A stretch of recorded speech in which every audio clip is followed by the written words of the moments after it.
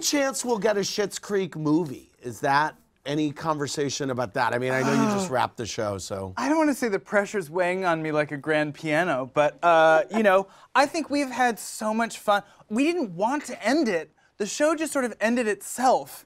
Um, so yeah, I mean, I hope that the idea for something substantial comes to me in the next few years and that we all get to play again because Yeah. we had so much fun. Yeah. Um, so I'm gonna go ahead and say, let's yes, let's try and find something to do.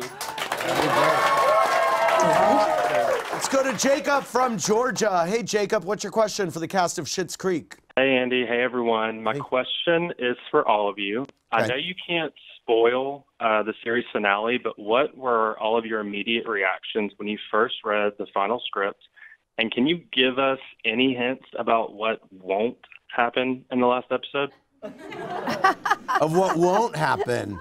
Okay, so will you all get all your money back? We workshopped of ho- a motel fire. Okay. That's what I was, I was, I was gonna say. Funnily enough, uh, didn't Workshop. work out. Okay. Ended up going with that. Kind of a sad ending. We won't see that. Won't see fires. Um, will we get our money back? Uh, that is TBD. Okay. Um, Can I the- give away the ending? Would- Yeah, I think go for now's it, the go time. for it. I mean, is this the place? It is. yeah, for sure it is. It's it's a um, it's it's a, it's a it's a lovely ending. That's nice. Well, that's nice. Great Spoiler answer, alert, Dad. Yes, that is No, a good no, no, answer. it is. It- Um,